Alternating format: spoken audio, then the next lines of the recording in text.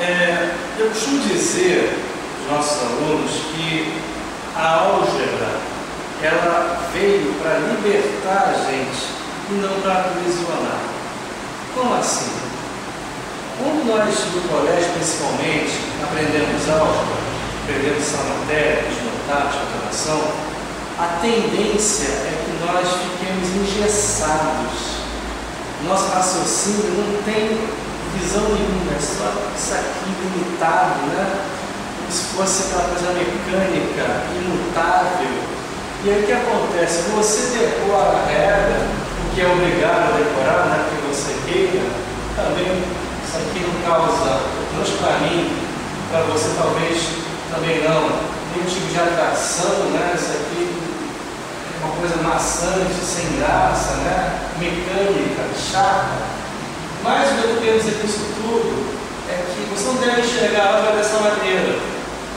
Não adianta você saber só o grupo notável para aplicar com os polinômios, com as expressões algébricas. Né? Aqui, enfim, é nada, nada demais, é uma coisa que não oferece um tipo de aplicação prática no dia a dia. Mas isso aqui sim. Você aprende notáveis para utilizar no cálculo com números. Não apenas no cálculo com as variáveis, com os parâmetros, com as letras, não é isso? Principalmente para você usar no cálculo numérico. Tá certo? E isso que às vezes nós não aprendemos no colégio, ou sim, enfim. O que é o 23? Ele é o 20 mais 3. Quadrado da soma de dois termos. Você vai aplicar isso aqui, né, essa monstruosidade toda, tudo bem, maravilha. Com as letras você aplica os números, você não vai aplicar?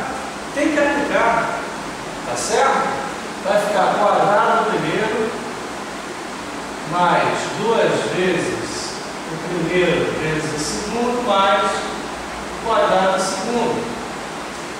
20 ao quadrado é 400. 2 vezes 20, 40 vezes 3, 120. 3 ao quadrado dá 9. 529.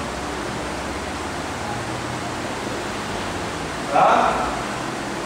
Então você aprende álgebra para libertar você, para você ter uma visão mais ampla da matemática, né, para aumentar a tua capacidade de raciocínio, suas ferramentas de cálculo, você andar mais rapidamente nas contas, e não para engessar você, você ficar decorando as fórmulas por decorar, porque você é obrigado, porque usa em outras matérias, porque cai na prova, cai no concurso.